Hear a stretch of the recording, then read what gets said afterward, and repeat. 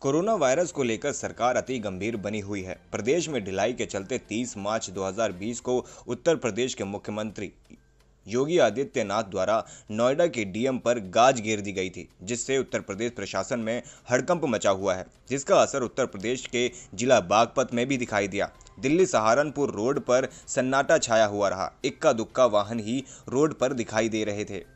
किसी भी व्यक्ति को बिना मेडिकल जाँच के नहीं जाने दिया जा रहा है। लॉकडाउन के आठवें दिन जिला बागपत का भ्रमण किया तो कुछ ऐसी बातें सामने आई। मजदूर पलायन कर अपने पैतृक स्थानों पर लौट रहे हैं। कुछ बातें उन मजदूरों के सामने संकट का सबब बनी हुई हैं। उत्तर प्रदेश के जिला मुजफ्फरनगर और बिजनौर के रहने वाले जम्मू कश्मीर से किसी ट्रक में बैठकर अपने घर लौट रहे थे। ट्रक वाले ने सभी लोगों को हरियाणा में उतार दिया। सभी लोग हरियाणा से यमुना नदी के रास्ते होते हुए उत्तर प्रदेश के जिला बागपत में आ गए।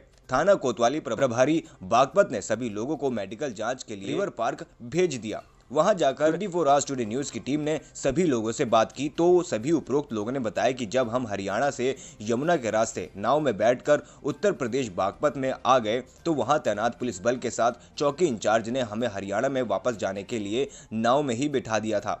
अगले ही पल, फिर वही पुलिस बल हमें मेडिकल चेकअप के लिए रिवर पार्क में लाकर ठहरा दिया। वहाँ उपरोक्त सभी लोगों का doctor Pradeep Kumar medical officer C H C Baghpat Karan Singh C H O और मनोज कुमार द्वारा अपनी टीम को लेकर लगभग तेरह लोगों का मेडिकल मुआयना किया। डॉक्टर प्रदीप कुमार ने हमारे संवाददाता से बात करते हुए बताया कि सभी लोग स्वस्थ पाए गए। डॉक्टर प्रदीप कुमार ने सभी लोगों को दो हफ़्ते तक घर में अंदर रहने की सलाह दी और सभी लोगों को एक दूसरे से एक मीटर की दूरी बनाए रखने के लिए भी कहा। कोरोना वायरस पर काफ़ी जानकारी भी दी। अब उपरोक्त सभी पीड़ित लोग अपने अपने घर जाना चाहते हैं, लेकिन नहीं जा पा रहे हैं, क्योंकि हर नाके पर बार बार सभी को रोका जाता है। उपरोक्त लोगों का कहना था कि ऐसी कोई व्यवस्था बनाई जाए, जिससे कि एक बार जहाँ से गुजरने के उपरांत उन सभी लोगों को अपने अपने घर लौटने में आसानी हो। इसका इंतज़ाम भी सरकार को करना चाहिए। बागपत से इरशाद आलम की रिपोर्ट। जिस पर हम खड़े हैं। और आप देखिए, पीछे ये बागपत की लास्ट जुंदाहेड़ा चौकी पड़ती है, जिस पर पुलिस मुस्तैद है। ऐसा लग रहा है कि कल नोएडा में, जैसे कि मुख्यमंत्री ने गाज फेरी थी, उसका अच्छा खासा देखने को असर मिल रहा है। पुलिस मुस्तैद है और मुस्तैद पुलिस अपना कार्य कर रही है। किसी भी गाड़ी को बिना पूछताछ के नहीं निकलने जा रहा है। आइए बात करते हैं। देखिए, इधर देखिए। गाड़ी है, गाड़ी से पूछताछ की जा रही है। किसी भी गाड़ी को बिना पूछताछ के नहीं निकलने दिया जा रहा है। मुख्यमंत्री द्वारा किए गए दौरे का अच्छा खासा असर देखने को मिल रहा है। पुलिस मुस्तैद है।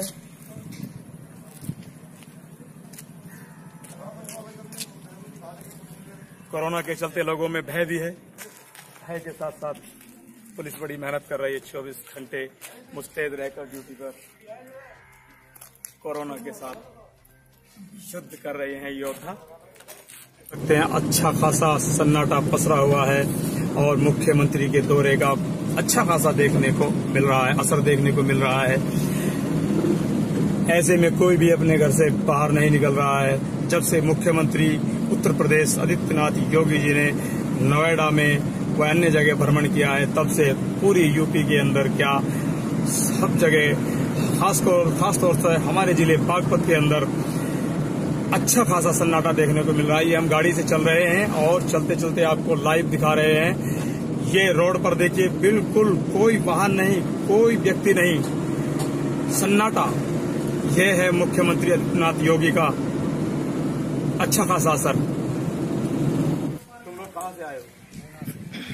किस रास्ते से आ रहे थे? कहाँ जाना है?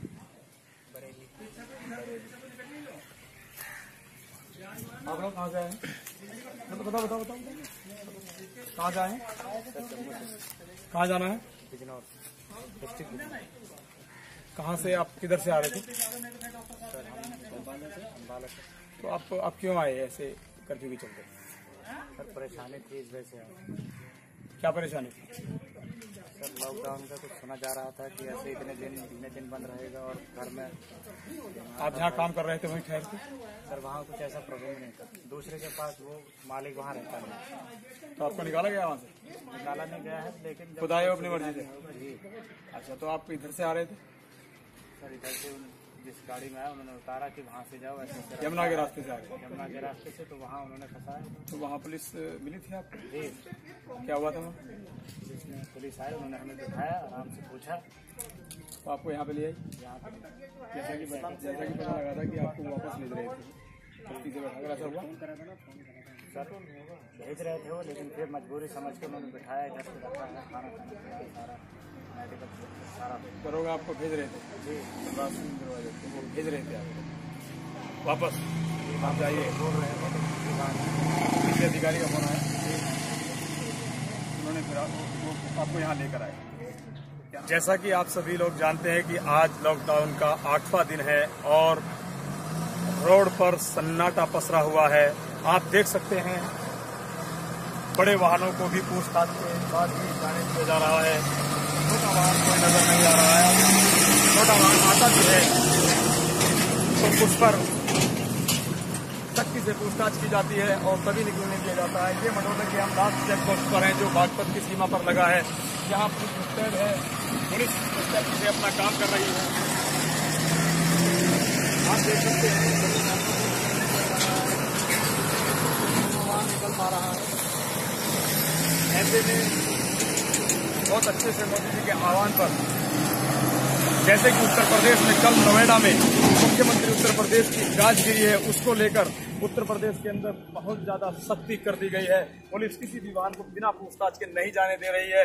आप देख सकते हैं पीछे गाड़ी को रोका हुआ है और पुलिस अच्छे से छानबीन कर रही है।